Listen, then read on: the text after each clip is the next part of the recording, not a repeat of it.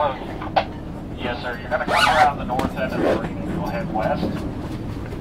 You'll come past the long ditch dock, and you'll make a port 180 to the inside of it. Come down and over your starboard side.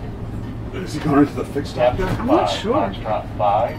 Bow in would be a starboard time. Where are the dock ends? I think they're going stern in, two slips to our right.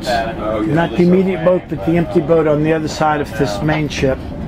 Come around the He's got good control, and like we say, drive with authority. So you see, he's he's putting the power to it where he needs it. Turn to the inside of that Now he's lining up on the slip with the boat in it, and then he's going to let the wind push him to where he needs to be.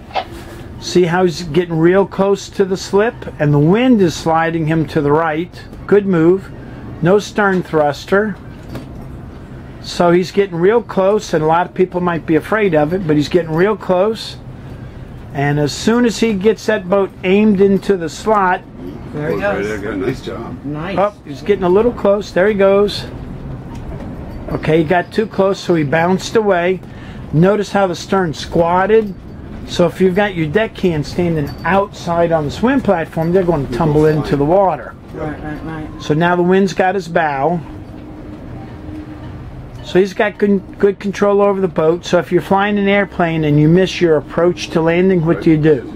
You come. You go around. Try it again. Go around, and that's what he's doing. Force it. So he's going to go back upwind. The wind is on his stern from our left. He almost had it. He was just about a foot off I know, target. I It's know. I really thought he was going to nail it the first time there. It looked Is he good. bowing in now? Because he was doing exactly what Chris was saying. That, you know, perpendicular, let the wind wind take you. you kind of down at that. And, oh, no, he's going to bow in. I think he's going to bow. Yep.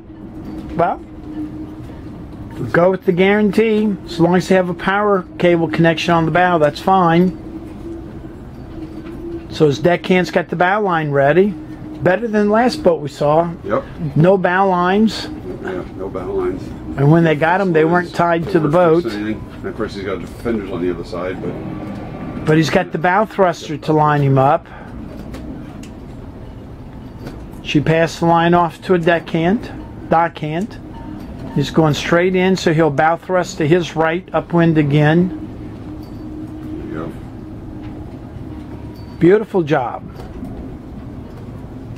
And backing in might be better socially, but sometimes it's easier to bow it in.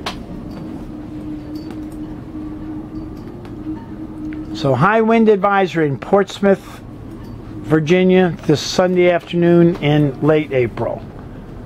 If you have questions about docking, ask Captain Chris.